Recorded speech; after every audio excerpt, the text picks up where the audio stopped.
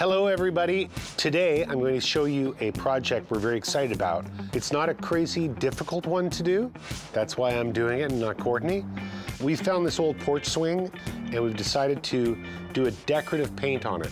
First step is we're going to sand it down and then I'm going to paint it. Not just one color, but two colors. All right, folks, now I have sanded down the wood to a nice smooth surface. There's still some blemishes, but that's okay. It's old. We want to keep it looking old. But before we paint, we must clean off all the stuff we've sanded. Now that I've dusted all this off, I'm going to paint it a base coat. and I'm going to let it dry really, really well, and then we'll do the decorative part of it.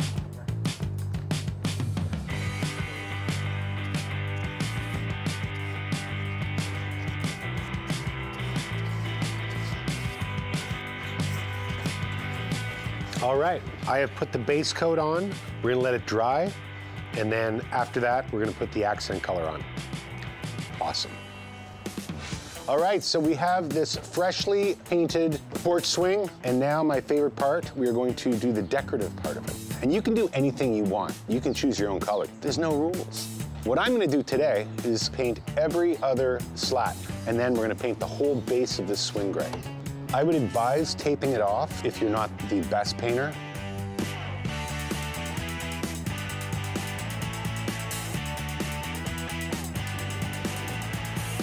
All right, now that these slats are all painted, I'm going to take the gray and put it on the base of this swing. Then I'm gonna load it back into the garage, let it dry really well, and then we'll hang it up and we'll have a brand new porch swing.